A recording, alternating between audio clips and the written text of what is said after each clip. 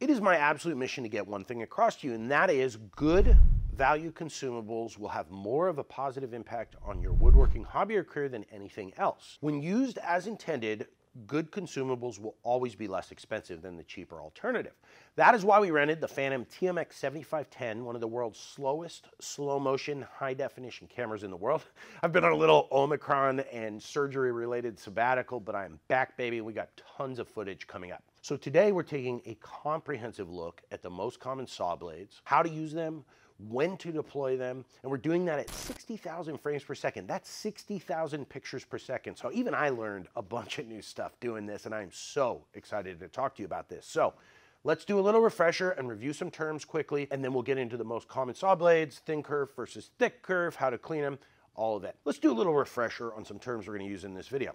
The tooth obviously where the rubber meets the road, the sharp pointy bit that does the cutting. The higher end blades are gonna have carbide brazed on. Cheaper blades sometimes will have steel teeth or very tiny amounts of carbide that are, are only one-time use. The more carbide, the better. The longer your blade's gonna last, the more sharpenings you can get out of it. The more teeth a blade has, the slower and cleaner it's gonna cut. The less teeth, the faster it's gonna cut.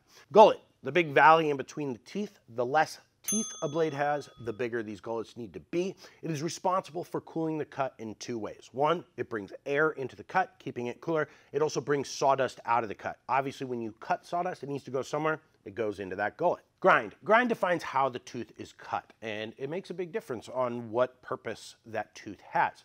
There's ATB, alternate tooth bevel. That is when the tooth has an angle at the top and each tooth angles to the left or to the right. There's FTG, flat top grind. That is a tooth that has a flat top. Those are gonna be more typical in heavy removal blades. And then there's TCG, which is trapezoidal chip grind or triple chip grind. It has a flat top with two angled sides. It's very common in like combo blades or high tooth count miter saw blades and blades used for cutting non-ferrous metal or acrylic. We got one of the coolest shots of all time that with this dado stack that demonstrates both ATB and FTG in the same cut. You can see as this exits, it has both style of teeth, which is what makes it so versatile. And you can see the ATB, the beveled teeth, taking a slicing cut from the tip of the tooth, and that's what gives it that clean edge. And those are followed by the FTG teeth, which are creating a shaving and removing a ton of material. The bevel or cutting angle is also part of the grind, and that refers to like the ATB angle or the flat top angle. It ranges from zero to 40 degrees, zero being flat top, obviously.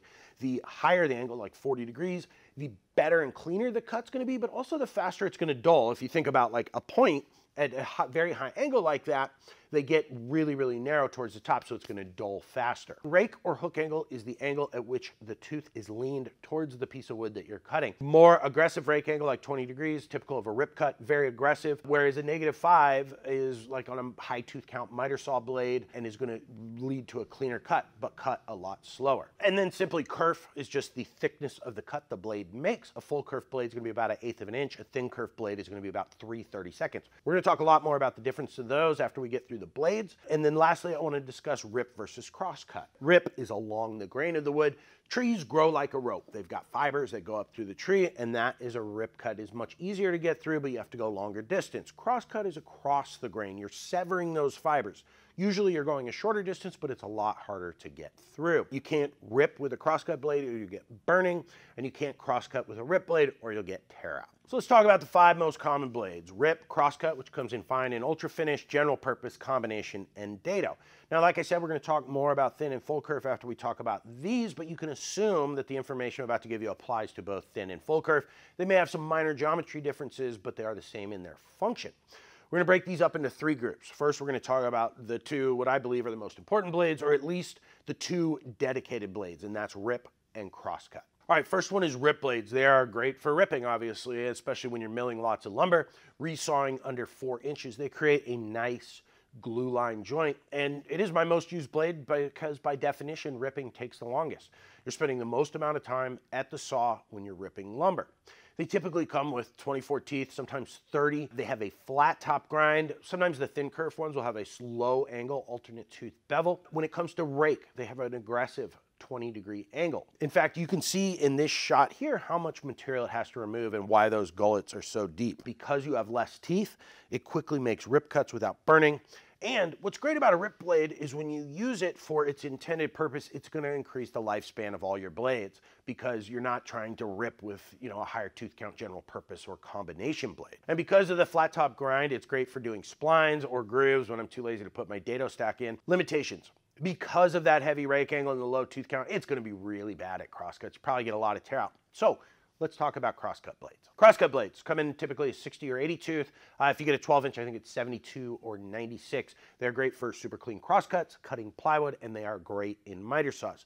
Now, I probably use my crosscut blade the least of some of my other blades, but I also really, really protect it because when you need a good crosscut, you need it to be great. Or you want a clean plywood cut, you need it to be great. Like I said, tooth count above 60. They are ATB or very high angle ATB, typically 15 to 40 degrees on the high end. Rake is negative 5 to 15 degrees, and that's because, you know, like on a miter saw, if you have a negative 5 rake, it's great because you're entering on the center of the wood. In my day-to-day, -day, I typically use my 60. I like that one a lot, but then when I want super clean cuts on exposed joiner, I want a really nice cross cut, I'll go to my 80 tooth. Same thing for plywood. Uh, because they have a higher tooth count, they're going to cut slower, but a lot, lot cleaner than like a general purpose or combination blade. So as far as limitations go, because of the high tooth count, they're going to cut a lot slower. Even in plywood, they're going to cut slower, but you're going to get super clean cuts. However, if you try to rip with them, you are going to get burning. Like it, it's without question. And I'm guilty of it. I'm sure I had to make one quick cut and my crosscut blade was in my saw, but it's not worth it because you, with that high angle and the long cuts and the heat, you're just gonna dull them a lot faster. Let's talk about the switch hitters, general purpose and combination blade. Now these both combine aspects of rip and cross cutting, but they do it in completely different ways and serve completely different purposes. These are great blades to use day to day for non-repetitive cuts to extend the time between sharpenings of your rip and crosscut blades. General purpose blades combine elements of both cross and rip cutting.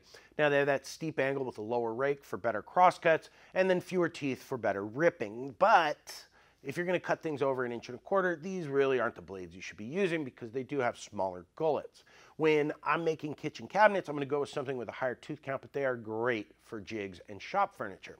So how does this differ from a combination blade? Combination blade is an interesting one I've become really fond of in the last year or two. You can cut thicker material, maybe up to about two and an eighth or however high your table saw blade goes. Softer hardwood, but it's not great for plywood. It has an interesting tooth layout, typically 50 to 60 teeth, but it has five tooth sections. It has four alternating teeth in a bevel of 20 to 30 degrees, and then it has a flat top or triple chip grind that has a zero degree bevel on the top with a really deep gullet under it that's designed for carrying out lots of material. Here you can see what all the teeth do. The bevel teeth are taking slices, but then that TCG tooth comes through and cogs out a bunch of material and dumps it down to that gullet. And you can actually see every fifth tooth, a big explosion of sawdust coming out of the back of that kerf.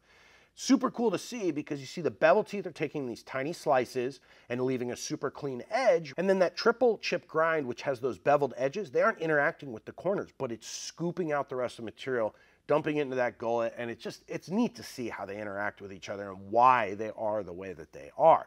So what are the limitations of a combo blade? Well, you've got that flat tooth, right? And it's got that big gullet, which makes it great for rip cuts. It makes it great for thicker material, but it's just not gonna be as good at plywood or crosscuts, obviously as much as a dedicated crosscut blade, but you know, the general purpose is gonna do that a little bit better.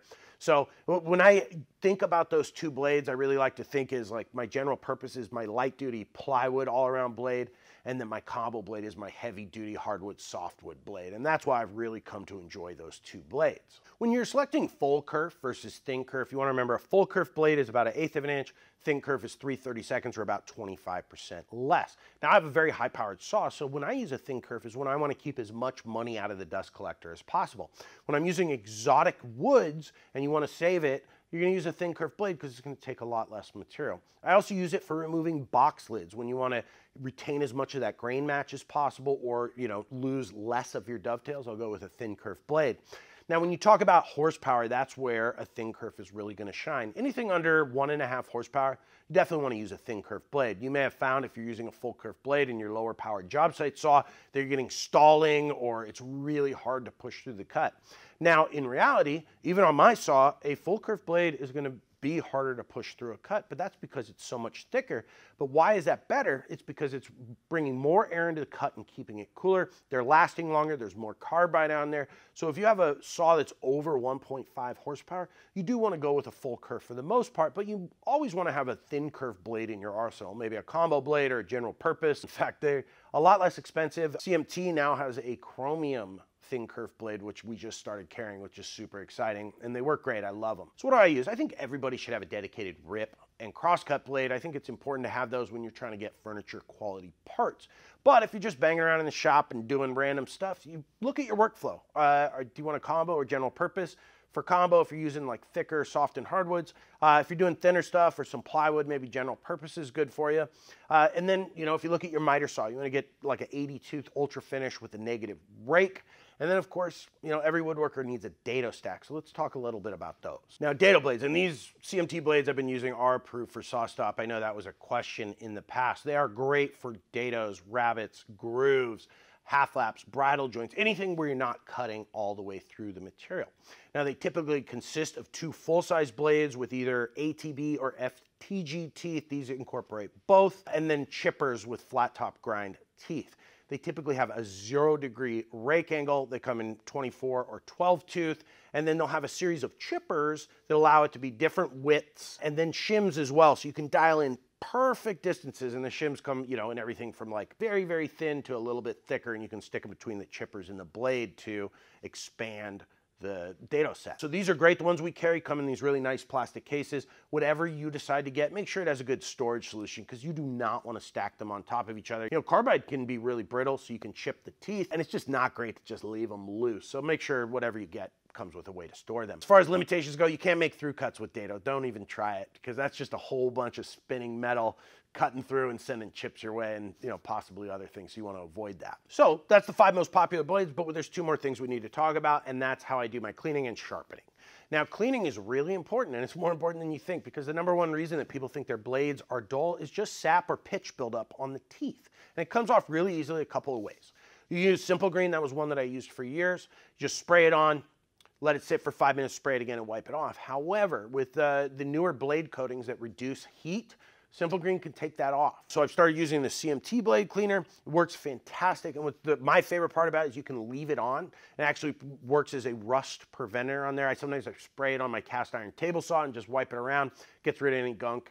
It works really easy. And the way I do that spray it on, leave it five minutes, and then spray it one more time. You can just wipe it off with a rag uh, or a soft bristle brush. Make sure you're using a soft one like nylon or brass works really well on any stubborn bits. And just wipe it off and leave it on there. You don't need to oil it or anything like that afterwards. And lastly, sharpening. I don't want to get into detail on sharpening because I've done two really good videos. One, how to tell when your blade is dull, and one, how sharpening is done. Just know that there are sharpening services all around in your area and you'll be able to contact them just by Googling saw blade sharpening in my area. A lot of places take mail order. I'll link the people I use. They're really great. Mike up at uh, Central City Tool Supply in Santa Maria is my go-to guy. He's really great. So now you should be able to make an educated decision on which saw blade is gonna work right for you. Now for me, you know, anybody who's been following this channel that I'm a big fan of these CMT chromium blades. So much so that I put my money where my mouth is we now carry these in my store. They have now a thin kerf line, the ITK chromiums, just absolutely fantastic. And they start at like 27 bucks. It's incredible. I'm gonna include a 10% discount code down in the pinned comment for you as well. And I highly recommend these blades. I really, I mean it, they're fantastic. I've been using them for three years exclusively. What makes them so fantastic is how much carbide is on them. If you look at them compared to like Freud or Diablo, they just have so much more carbide. I'm not saying those are bad blades, but these are really top, top tier blades at a mid-level price. And that to me is where you have the high value. And just like I talked about at the beginning, that good consumables are less expensive than the cheap alternative. And these are the ones that I really, really love. So head over to the store, check it out. Guys, thanks for watching. hopefully you like this deep dive. We got a lot more slow-mo coming out. And if you want to support channel, head over to the KM Tools store. And guys, stay safe in the shop.